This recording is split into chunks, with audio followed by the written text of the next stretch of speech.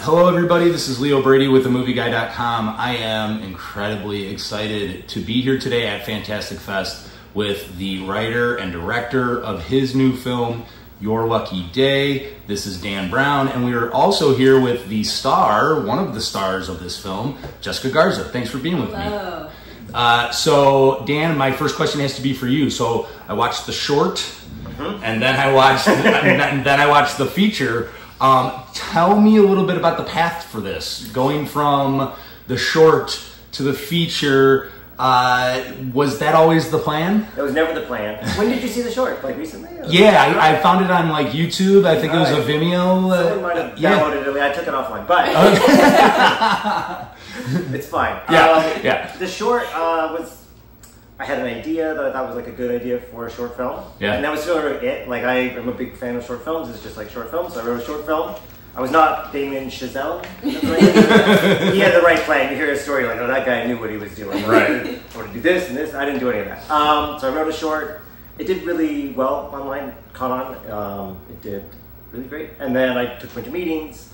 You know, you go to LA. I live in Seattle. I used to live in Seattle, but I went to LA, took a bunch of meetings, and it was all like, we'd like to make a feature. I didn't have a feature in mind, and the short, you saw it, it ends pretty definitively. for everybody. Yeah, yeah. There wasn't anywhere really to go. Um, Right.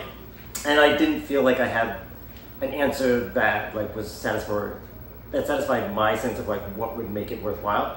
Um, so it just sort of was one of those things, you know, I turned a bunch of interested parties into like useless general meetings and then you know, and years later, just sort of some of the stuff that I had hoped would be less relevant felt like even more relevant, like some of the social stuff I think Yeah. and I was like, okay, well, this still really works as an idea. So I had one kind of like aha moment where it's like, okay, if the guy who wins is rich, then I can make sense of the rest of the story, and then I'll kind of like build from there. Yeah, yeah, yeah. Awesome. Um, well, yeah, that's interesting too because uh, Jessica, for you, uh, getting onto this onto this project. Uh, first of all, your performance is fantastic. Uh, you should be very proud of this. Um, uh, you're playing a pregnant woman.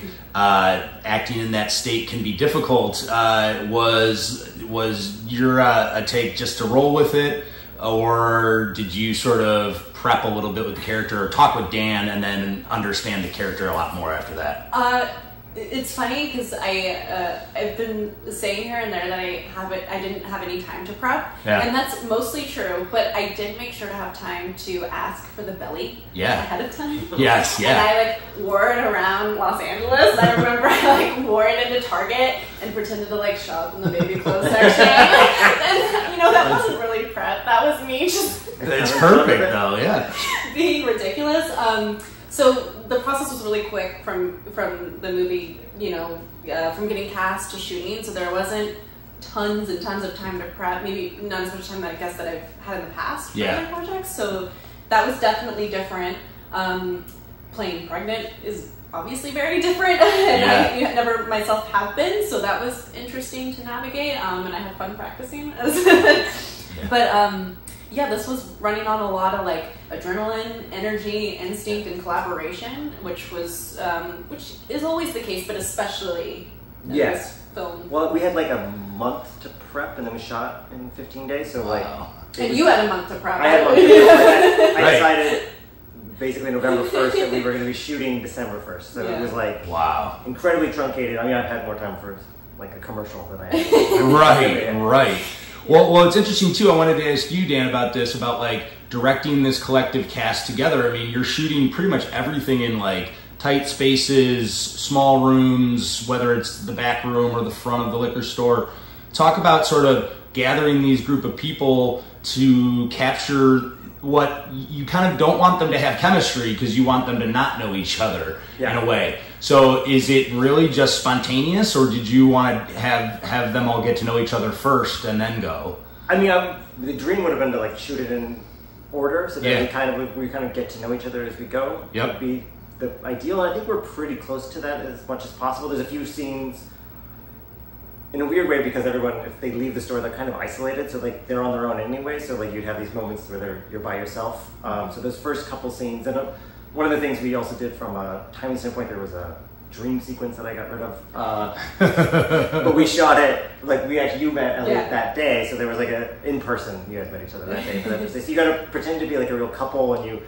We were uh, at my cousin's house. It's a very nice house. They have like a, a view of the ocean, so there was like a nice sense that they could just be on like a first date. In my mind, I was like, oh, they're getting along. That's nice to see. Yeah. Yeah. And you guys had a really great relationship. I felt like. Yeah, we lucked out, honestly. There, I, I, I'm sure. I think you mentioned you would have loved to have the luxury of more time. Yeah. You know what I mean for us to rehearse or whatever. But that's just not what the case was. It's not what happened. We got thrown into it, and and uh, luckily, I guess it was just by luck. Yeah. You know, every single one of us was ready to go and excited, and we had great chemistry, but in a way where like we didn't know each other. So it's still like it wasn't, you know, like there wasn't this rapport that was just too familiar Yeah. um, because none of us had, I don't think any of us had really met or had known each other before. Um, and so it was strangers thrown together, and we just happened to.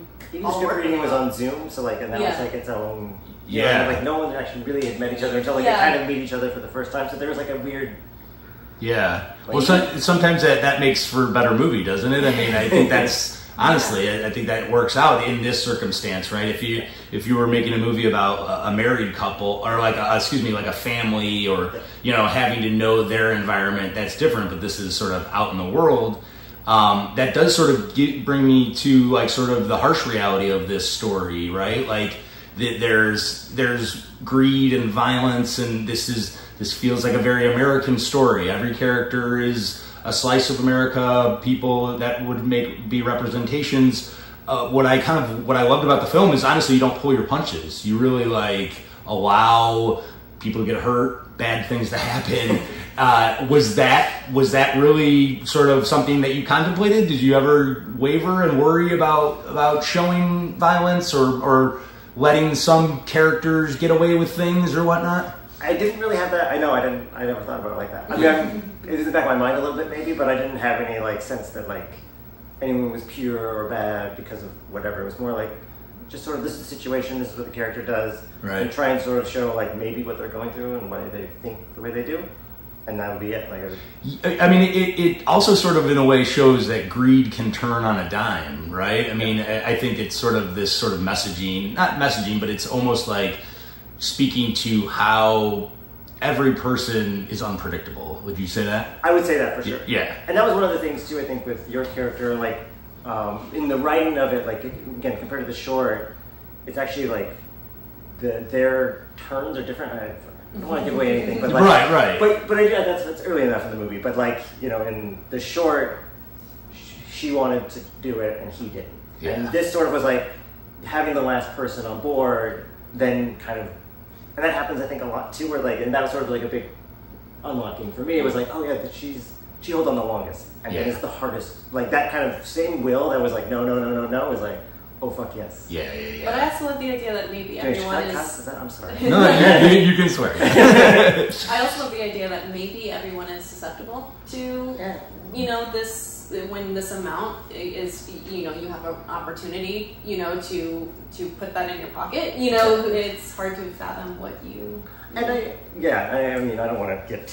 I, I mean, obviously, the film has a, a perspective. Uh, I don't want to pretend like I don't, but I do think we do see like this. I do think there's a line there. Uh, Angus says there's like we're gonna get away with this because we're rich, and I do kind of believe there's some sense like we see some Yeah. version Yeah. of that all the time. Right. Like, oh, you've got money, you got away with that crime. Right, right. We've we've seen two tiered justice systems for people who have money versus those who might not. Yeah. Um, yeah, that's that's really good. Um, last two questions, Jessica, for you. There, you have a really amazing like little monologue in the film, uh, talking into a walkie-talkie. I mean, like, talk about prepping for that. Uh, was that the hardest part of the role? Hardest scene to shoot? And and and, and is somebody on the other end of that walkie-talkie for you to like go back and forth, or is it just you going? Uh, I was very, very lucky, Yeah. and um, despite Jason O'Mara not having to be there, he was. Yeah. so I'm very lucky because he's got a great voice. He's got a mean- wonderful he's Batman. Yeah, I- clearly, Yeah. yeah, amazing. Yeah. Um, so I was very lucky that I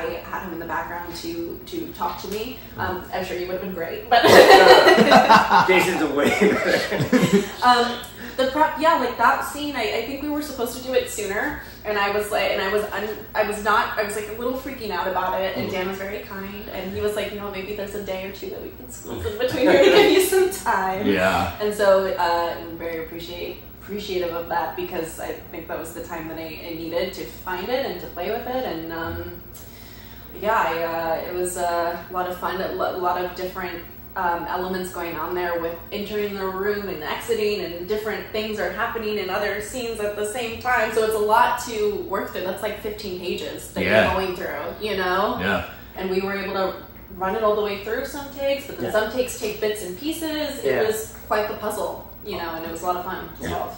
That was Yeah. before we were shooting two cameras, which we would do later on. Like, time was kind of like, oh, we're gonna need to switch to a two camera shoot. Um, again, it was a small movie. We were trying to keep it under, and then I was like, all right, we have to get another camera in here because we need to shoot about.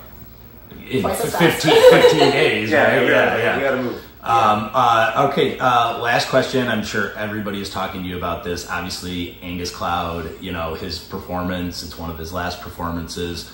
Uh, have the two of you been able to sum up, put into words just what that means now? Like uh, him having his one of his last performances in your films, his performance is fantastic. Uh, talk about that. Oof. I know it's like Yeah, no, I um, I feel really honored and really like, you know, like blessed. I guess is the right term. Yeah. I feel like really lucky. I felt really lucky that he wanted to do the movie, and I feel really lucky to be. Ah, it, it just feels great. I, I think he's really good in it, and I and I was, yeah, yeah. yeah. It's super sad. I it's. Am I just mumbling right No, now? No, you're good. It's, I mean- it's hard to process. Yeah, I It bet. was shocking, and I think it was just so like it's just so sad. And I had kind of like my you know like I feel like like maybe I'm a dad, so like I look at everything like a dad, but it's like oh you're my. Everyone gave me their trust. Yeah. And I wanted him to feel like that I earned it and that he had done a great job and that we could like talk about it. And I Yeah. felt like that was something that was coming. You know, like the last text I said we were going to get this film festival, and I was like. You know, I'm a very like guarded person. I don't want to show the movie until like the right moment, and I wanted us all to watch it together, and I wanted him to see himself, and so those are things I was really looking forward to. And I remember even watching earlier before, like when season two started, and like suddenly he got this way bigger part than he had in one, and I was like, Right. and people were so excited, and I had like felt like I had this like great secret. I was like, you don't even know. right. He's gonna do more than you're thinking. Um, And he was always so full of faith in Yeah, you, yeah. in your project. You know what I mean? In this project, he was like one of the first people to sign Oh, on yeah. and do it, and he was your dream cast for that role, and he was like, so it's it's a huge deal. Yeah, and, and he's got a great monologue. Like he talks, you know, sort of uh, spiritually and honestly in his character, and I think like that is such a beautiful thing to have. And I think you should be proud of that. And uh, congratulations on this movie. You guys should be very proud of it.